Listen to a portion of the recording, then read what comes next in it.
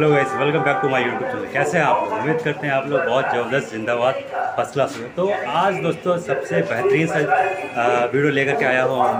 मैं एक्चुअली क्या है दोस्तों आज मैं काफ़ी दिनों के बाद ट्रैवल्स करने के निकला। तो एक जगह पे मैंने पहुँचा तो यहाँ पे एक काफ़ी अनोखा चीज़ मुझे देखने को मिला जो मैं आप सबों के साथ शेयर करना चाह रहा था। तो, तो आप लोग वीडियो में बने रहिएगा एंड डेफिनेटली अगर आपको अच्छा लगेगा तो बिल्कुल चैनल को सब्सक्राइब कीजिएगा दोस्तों के साथ ज़रूर से ज़रूर शेयर करना कीजिएगा ठीक है? तो चलिए हम दिखाते हैं वो सारा का सारा क्या चीज़ है। पहले इसका बाहर का गेट दिखाते हैं और हमारे पीछे साइड देख सकते हो। हमारे पीछे साइड देख सकते हो, ये राधा कृष्ण का मूर्ति है, ठीक है? अगर हम यहाँ की एग्जैक्ट लोकेशंस की बात करें तो दोस्तों ये साइड देख सकते हो, ये स्टेशन जाने वाली रोड है, ठीक है? और ये स्टेशन जाने वाले रोड में ही एक इधर में आपका कोतवाली चले जाते हैं। तो इसी के बीच में ये देख सकते हो एक धर्मशाला, जो देवी बाबू धर्मशाला के नाम से जाना जाता है दोस्तों। तो यहीं में एक ये लगा हुआ ब्रह्मा कुमारी इसके द्वारा, द्वादश बारह जो मतलब बारह ज्योतिर्लिंगों का दर्शन मेला लगाया गया। तो क्या कुछ है अंदर में? ठीक है, वो सबों को हम दिखाएँगे। चलिए, अंदर चलते, ये बाहर का गेट का रहा और अंदर की ओर चलते हैं ठीक है स्टार्टिंग शुरू है गेट। और ये भाई हैं जो कुछ बुक्स प्रोवाइड कर रहे हैं।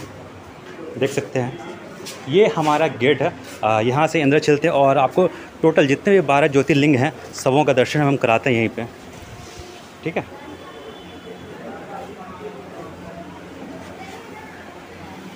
आप देख सकते हो, पूरा का बहुत अच्छे से कलाकारियाँ की गई है। एंड यही है जस्ट दोस्तों यहाँ से एक सोमनाथ मंदिर स्टार्ट हो रहा है। आप यहाँ से देख सकते हो, यहाँ एक ही जगह में आपको सभी शिवलिंग देखने को मिल जाएगा। एंड यहाँ पे जो भी कुछ विशेषताएँ हैं, जो भी कुछ विशेषताएँ हैं, यहाँ पे बोर्ड भी लिखा हुआ है। एक मिनट दीदी।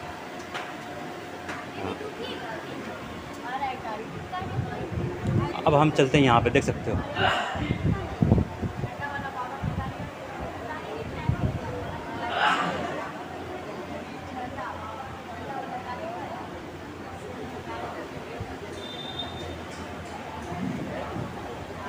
उसके बाद तीसरा दोस्तों महाकालेश्वर।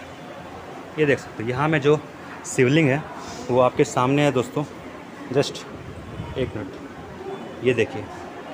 तो ज़रूर से ज़रूर चैनल को सब्सक्राइब कीजिए एंड दोस्तों साथ शेयर ज़रूर कीजिएगा दोस्तों। आपको एक ही जगह पे, एक ही जगह पे बारह ज्योतिर्लिंगों का दर्शन कराया जा रहा है यहाँ पे, ठीक है? एंड आप सभी लोग यहाँ पे आ सकते हैं। आज से शुरू है, यानी कि आज 11 तारीख से 11 तारीख रविवार से 8 बजे से शुरू है दोस्तों प्रोग्राम।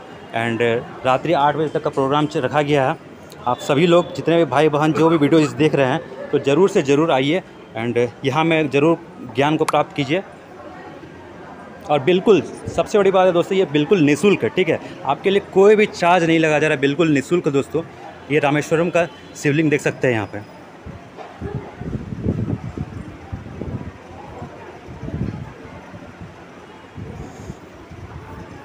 ये भीमा भीमा शंकर का शिवलिंग है, यहाँ पे देख सकते हो।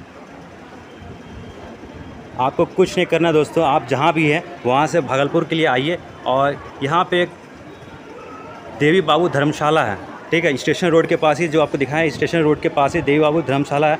आप वहाँ पर आ सकते हैं और आ करके यहाँ में जितने भी जो भी चीज़, जितने भी शिवलिंग प्रोवाइड किए गए हैं, सभी को देख सकते हैं और जो भी ज्ञान यहाँ के द्वारा बताया जा रहा है, ब्रह्मा कुमारी के द्वारा तो आप उसको भी गहनतापूर्वक निःशुल्क रूप से आप प्राप्त कर सकते हैं एंड अपने जीवन को सफल बना सकते हैं। ये देखिए, नागेश्वर नागेश्वर का मंदिर है दोस्तों। यहाँ पे उसके सारे विवरण किया गया है, इंग्लिश और हिंदी में आपको दिख रहा होगा अच्छे से।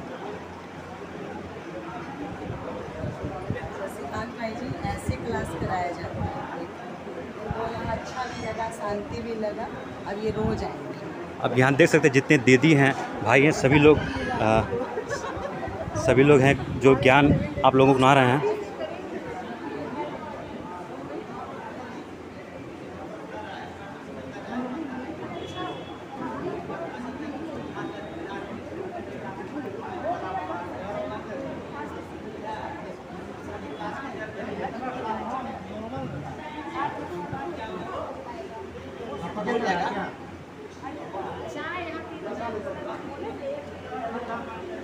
जितने भी तस्वीर देख रहे हैं दोस्तों, सभी तस्वीर का कुछ ना कुछ मकसद है, ठीक है? कुछ ना कुछ मकसद है।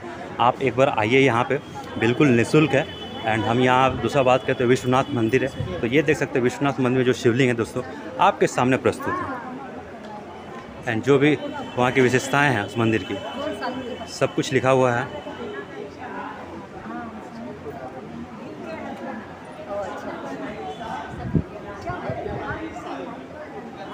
देखा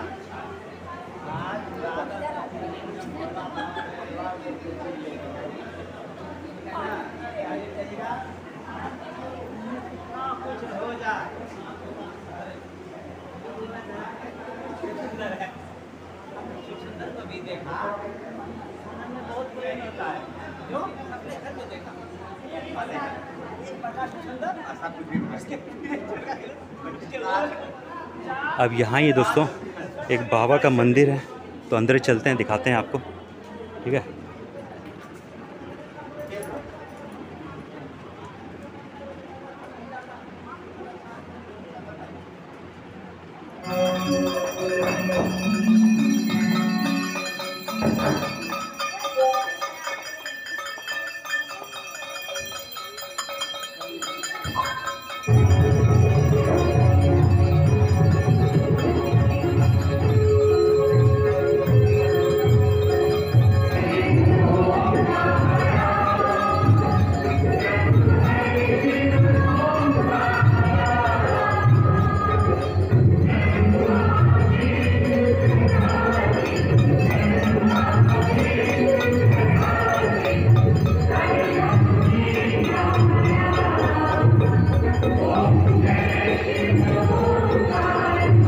वीडियो